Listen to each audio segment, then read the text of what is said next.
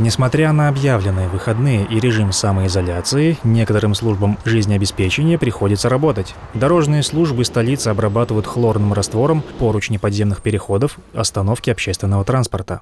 Со вчерашний день было обработано 30, 37 э, остановочных павильонов и 3 э, подземных перехода.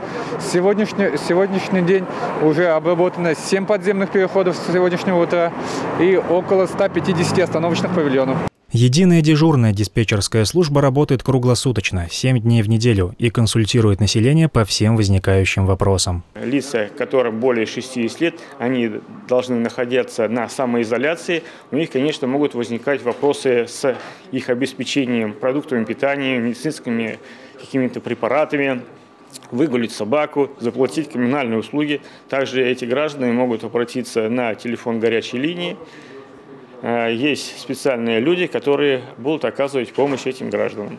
Кроме чрезвычайных мер, никто не отменял обычной весенней работы. Убирается листва, идет чистка светофоров, красятся опоры, барьеры. В процессе эксплуатации старые дорожные стойки, они подвергались коррозии, потому что были изготовлены из простого черного металла.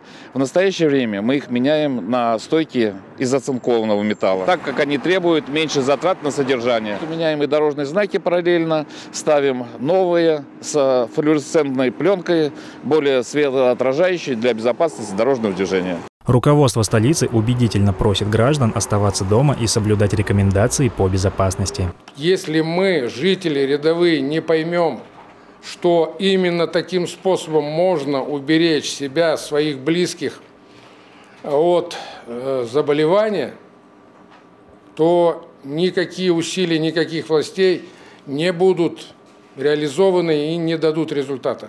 Александр Соловьев, Игорь Зверев, Республика.